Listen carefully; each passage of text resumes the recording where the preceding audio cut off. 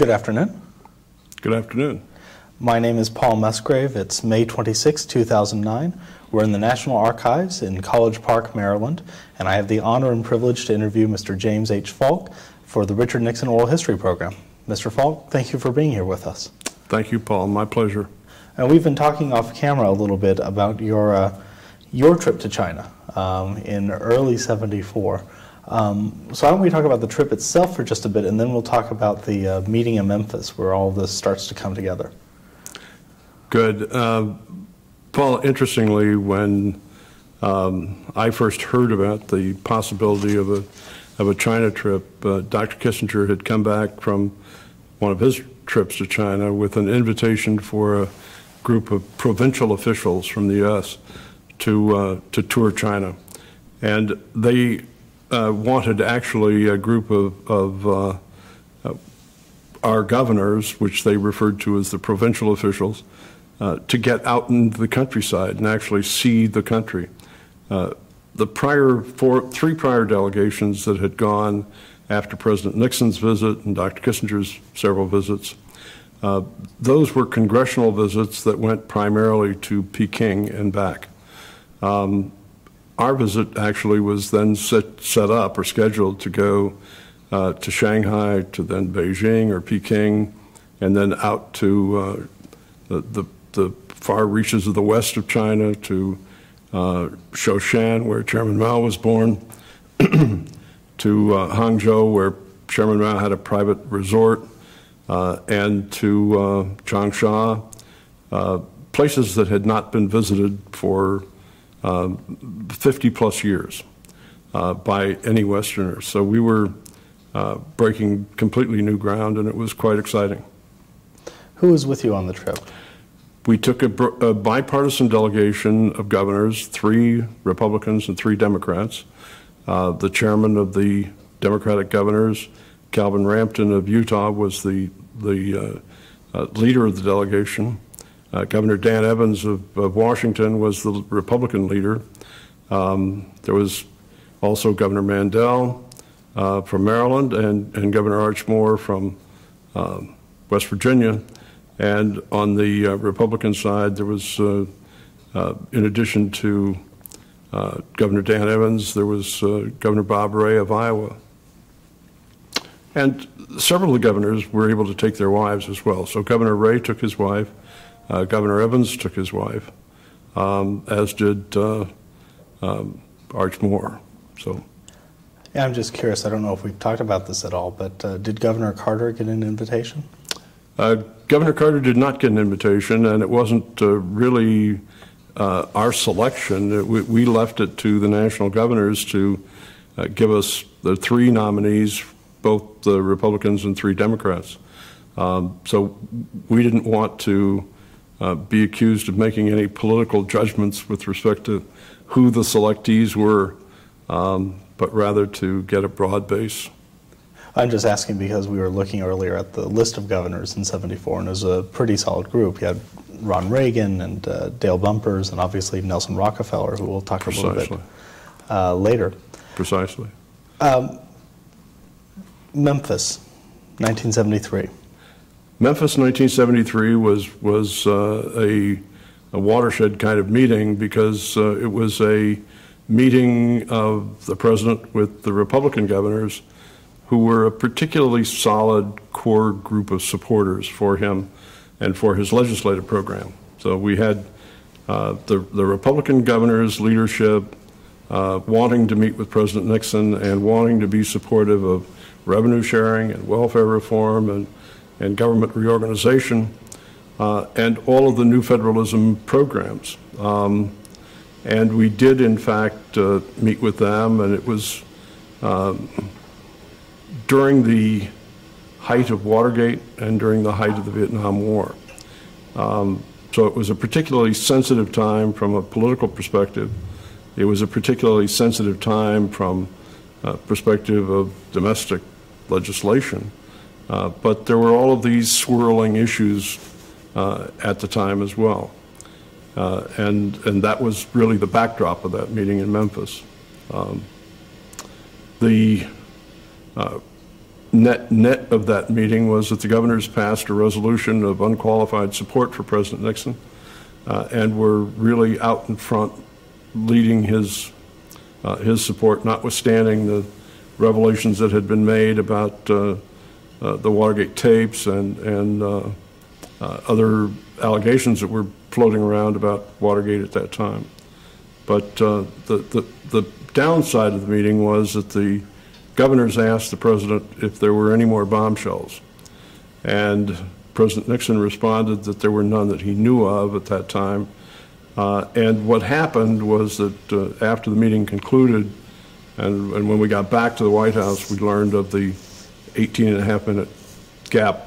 And, and the governors then uh, felt that they had been let down by uh, not being told about that. Um, but we immediately then tried to, to let them know that we didn't know about that in advance of the meeting uh, and tried to uh, prevent there being any major political impact. But we were still attempting at that point to put together the China trip. And, and we didn't want to have the whole thing blow up because of, of, uh, of that meeting. So it was a sensitive time. I'm going to pause here. I'm not quite sure what the noise is. That's what I'm thinking of as being.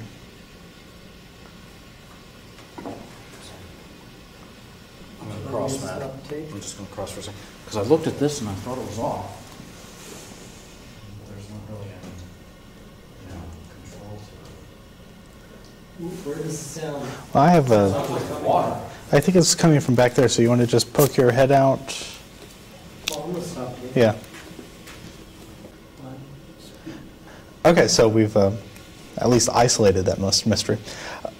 I want to go back to the beginning when you joined the Nixon administration, uh, because you are part of this group of Arizona lawyers who find themselves in Washington. And there's Dick Kleindienst, obviously, and uh, uh, Bill Rehnquist, who later goes on to some distinction, um, and Ed Morgan. Um, how do you get tapped to join the Nixon administration? Well, it's a very interesting question, and it was uh, a great surprise to me. Uh, it all started with a, um, a project that I was working on with uh, a former Supreme Court justice in, in Arizona, uh, J. Mercer Johnson, who had been uh, a state court judge and a Supreme Court justice and, and had been asked to be special attorney general to handle the highway cases for the construction of the interstate highways. And he and I, uh, I was his assistant. We were working together, and we met with some of the people from the Attorney General's office, and they were talking about the the, the Johnson administration grant programs that that were making grants to various new entities to be created by the states, uh, and they were concerned that those entities were being given uh, far too great uh, uh enumerated powers, uh, and So we were asked to, to do a, a memorandum for the state legislature on the appropriateness of the grants of power to tax, for example, that the Johnson administration program had, had started. Uh, we did, in fact, I, I wrote a, a, legal memorandum on the, the, the power to tax delegation uh, stating that in Arizona it was unconstitutional for uh, non-elected public officials to impose a tax, uh, and that uh, the legislation should not be passed in that form. Um, I promptly forgot about that, and six months later, um, I was uh, surprised to read that the legislation had passed, uh, and that my wife got up on a Saturday morning and read the front page of the paper, and there was a photograph of me. I had been appointed to this new statewide authority uh, which had been given the power to tax. Um, we had to then figure out how we were going to, to, to deal with this, and, and uh, it, it, turns out that we had uh, a constitutional vehicle. We, we could uh, pass a tax that the governor wouldn't sign, and by constitutional law in Arizona would have original jurisdiction in the Supreme Court. Uh, so we then took the, the liberty of passing a tax with dollar on everything in Arizona. Uh, then the governor rejected it. We sued the governor in the Supreme Court. The Supreme Court set it up for expedited hearing and argument and briefing, and, uh, and we won the case. So we eliminated the power to tax, yet sanctified the creation of the authority. And that became a widely discussed constitutional issue. And, and as a result, I, as a very young lawyer, um, not even 30 years old, was, was uh, uh, spoken of as a constitutional law expert. Uh, I kept denying that I was a constitutional law expert, but notwithstanding, the, the label stuck. Um, at that point, the Nixon administration was doing something that was 180 degrees different than what the Johnson administration had done. The Johnson administration, and, and President Johnson, like President Nixon, was a brilliant strategist and had, had conceived a categorical grant program to support the Great Society programs, which created a whole new level of government that was not elected, but rather appointed by the appointees who were largely Democrats. They were housing authorities and water and sewer authorities and airport authorities and taxi authorities and every sort of an authority you can imagine, and they would then be entitled to get grants directly from the federal government. The Nixon program was 180 degrees opposite. The Nixon program sought to reverse that by giving the money back to the state and local governments, but to the elected public officials, uh, which was consistent with my view of what was constitutional to begin with and was consistent with what I thought was the best method of governance. So I was completely in support of what the Nixon administration was proposing to do, uh, and when I sought to do some things for the, uh, the, the, the, authority I was the president of, uh, I was asked if I would come back and take a look at, at uh, how the revenue sharing program could be uh, implemented effectively, and, and I did, and was asked then to stay and was asked to, to uh, work on the revenue sharing program at the White House level, which I did and I agreed to do, and, and so in March of 71 I came back uh, and joined the White House staff on the Domestic Council and, and began to work primarily on the revenue sharing program from the beginning.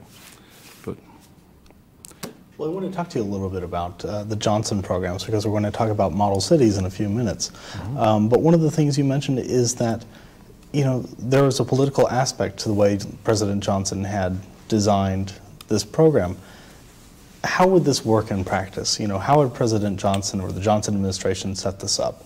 Well, I think the, the, the strategy of the Johnson administration was to, to, to create uh, entities that would be headed by people that would be appointed by Democrats, uh, strengthening the Democratic Party's control of governmental function uh, without the necessity of having an election. Uh, and the Republicans would have been, uh, had the Great Society steamrolled and had that steamroller built and snowballed. Uh, it's, it's my view that, that uh, without uh, something like revenue sharing and without the formula distribution programs of the Nixon administration, that this appointed level of government would have become the most important level of government and would have, have rendered the election process at the state and local level pretty much a, a non-event. Uh, so it was, while it was a brilliant strategy for entrenching the Democratic Party, it was a, I thought, disastrous strategy in terms of eliminating the role of elected public officials. Um, the Nixon program ensured that public officials who got elected would have something to, resources to do something with. Um, well, you come on board in February 71, and in March of 71, uh, President Nixon begins issuing speeches and also written statements about both general revenue sharing and also a special revenue sharing. Mm -hmm. uh, what was revenue sharing? Revenue sharing was a program designed to return money to the states by formula. And that formula was a formula based on population, uh, based on need, uh, it, under the Johnson programs, the cities that were the most effective grantsmen, cities like San Diego, Tucson, Arizona, my home, Tampa, Florida, uh, were populated by people who were very effective grantsmen. Uh, And those cities got the lion's share of the good grants. Um, Other cities, without the benefit of effective um, grantsmen, lobbyists, whatever you want to refer to them as, uh, were further down the chain in terms of likelihood of success in getting grants. Uh, So it's, it was a, a, an effort um, to even the playing field, to level the playing field and make sure that, that uh, on the basis of need as measured by population, uh, all cities would have a reasonably equal opportunity uh, to get federal dollars back. The special revenue sharing programs were in addition to general revenue sharing. And the special revenue sharing programs uh, were not directly my responsibility. Uh, I was responsible for general revenue sharing and for welfare reform, but the special revenue sharing programs were, uh, there were actually six. Uh, There were law enforcement, manpower, uh, health, um, uh, housing, community development, et cetera. And these, these special revenue sharing programs had a checkered career, essentially. Uh, Two ultimately passed, uh, two failed, uh, and, and two struggled by getting converted into something else. Um, But uh, the general revenue sharing not only passed, uh, was a, a hallmark of the, the first term of the Nixon administration, um, and was uh, subsequently reenacted in the Ford administration. Um, And general revenue sharing proved to be a very effective program in giving money to the states, to the cities, the counties, and the Indian tribes uh, to spend as they desired uh, without any federal strings attached and without the necessity to uh, put together a magnificent grant application or a, um, hire a team of, of lobbyists to do it. Money was distributed by formula um, and paid back three times a year, I believe. And this was to be done through the existing elected governments at the state and local level. Correct. Um, Through the governors, at that time, the majority of the governors were Democrats. Uh, But the, the governors, as you mentioned at the beginning of this discussion, were particularly visible and particularly powerful group of people at that time. Uh, Governor Reagan in California was an extremely well-known governor and very strong. Governor Rockefeller in New York was a very strong and very out-in-front governor. Uh, In the South, governors like George Wallace uh, were, were uh, in fact, a a presidential candidate who uh, suffered from an assassination attempt. Um, But the, the governors were, were, were very, very strong, and the, and the mayors were very strong. There were very strong mayors like Dick Lugar in Indianapolis, who became a senator, like Jake Garn in Salt Lake City, who became a senator. Um, There were numerous mayors like Frank Rizzo, who was a mayor in Philadelphia, uh, reelected by huge margins every, every time. Frank Rizzo was, was a Democrat, but Frank Rizzo was a staunch Nixon supporter. And most of the mayors of major cities in the country and most of the governors were solidly behind the Nixon program. Now, where did the need for this revenue sharing come from? The need came from the struggles the states were, were, were having at that time to increase revenues without increasing property taxes. Um, The, the one thing that the, the states didn't want to have to do was increase property taxes. Most property taxes are levied by the lower level of government, counties, uh, and they're lower, uh, the, the, the tax uh, levy by counties uh, is approved by the states because the counties are generally an arm of the state. Um, But uh, it, it was the perception that property tax increases were going to be required across the country uh, if some other revenue source wasn't found for state government, uh, state and local government. And that's where revenue sharing came in. And now the Nixon Library has, of course, a California location, and next year it becomes the only location. So we're familiar with Howard Jarvis and Prop 13. And so I guess this is the beginnings of that, of that movement. I think that's exactly right. I think that, that uh, the need to cap property taxes as opposed, as, as uh, evidenced by Prop 13 uh, was becoming uh, widespread around the country because people were finding that elderly people who had lived in their homes for many, many years were unable to continue to live in their homes because property taxes were driving them away. Uh, so people were having to sell their house in, in uh, the, their home state and move to another state uh, to avoid the property tax problem. Uh, and it was causing a shift in population. One program that you inherit, uh, that you're dealing with in your early years on the domestic council, uh, is something called model cities.